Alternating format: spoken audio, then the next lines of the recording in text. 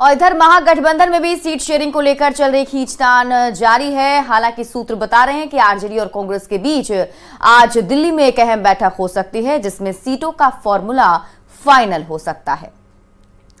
Schedule of the Lok Sabha poll will do it in seven phases as was done last time seven phases phase one will start from twenty March notification Lok Sabha चुनाव का ऐलान हो गया। सात चरण में चुनाव की घोषणा हो गई, लेकिन बिहार की सीटों को लेकर महागठबंधन में खींचतान अब भी जारी है।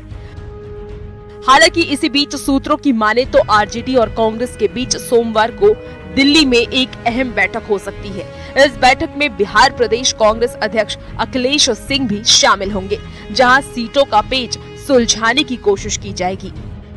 मुंबई जा रहे हैं आज मुंबई जा रहे हैं मुंबई। सूचना दे दिया जाए। मुंबई जा रहे हैं आज न्याय यात्रा का मुंबई में दिखेगा? आज बॉम्बे में है राहुल गांधी जी ने खुद फ़ोन करके निमंत्रण दिया था। तो आज हम लोग जा रहे हैं। अब तक महागठबंधन में शामिल दलों के बीच सीटों के बंटवारे पर सहमति नहीं बन पाई है।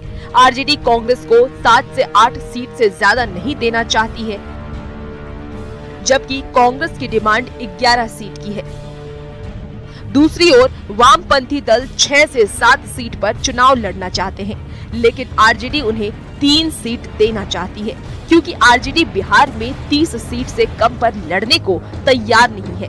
यही वजह है कि सीट शेयरिंग का मामला सुलझ नहीं पाया है।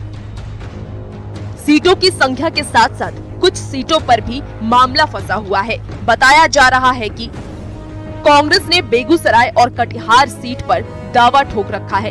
बेगूसराय से कांग्रेस कन्हैया को प्रत्याशी बनाना चाहती है, जबकि कटिहार सीट से तारिक अनवर को कांग्रेस उम्मीदवार बनाना चाहती है। दूसरी ओर, बेगूसराय सीट पर लेफ़्ट की भी दावेदारी है। तो कटिहार सीट पर आरजेडी की भी दावेदारी है।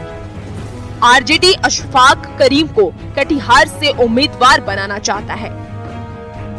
मतलब कि इंडी अलायंस के अंदर सीट को लेकर कई तरह के पेच फंसे हुए हैं।